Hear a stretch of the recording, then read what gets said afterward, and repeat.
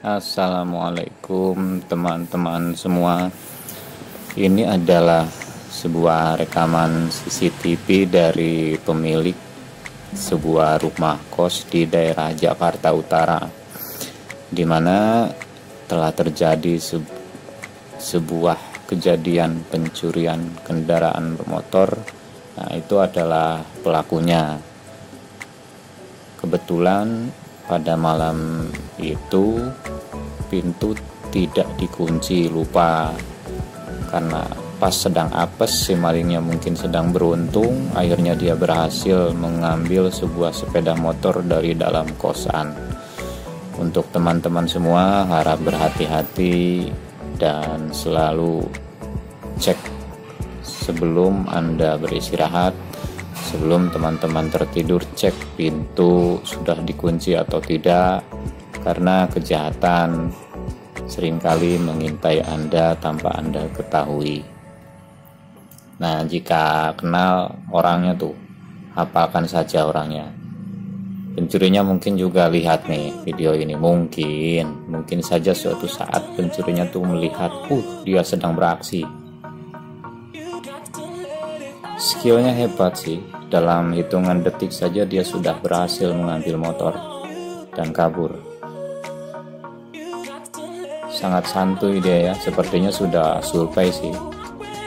Sebelumnya tuh sangat santuy pelan-pelan membukanya itu.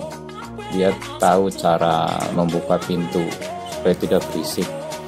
Ini kejadian tadi tanggal 6 bulan April tahun 2021 sekitar jam 4 pagi ketika orang masih tertidur lelap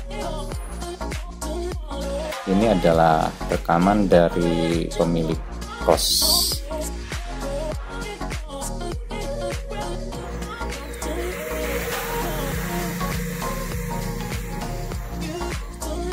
nah itu motornya tuh yang diambil tuh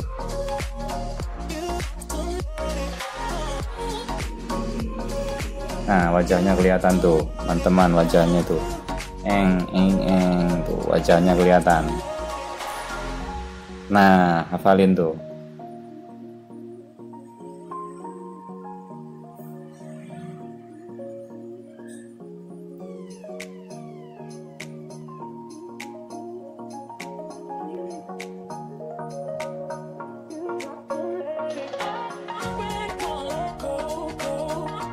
Wih, cakep ya.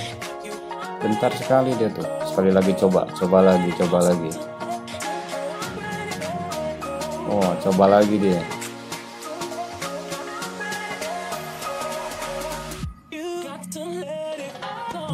Berhasil. Dalam hitungan detik loh. Berlatih sekali lah. Nah, itu teman-teman. Nah, itu wajahnya tuh harap berhati-hati selalu ya terima kasih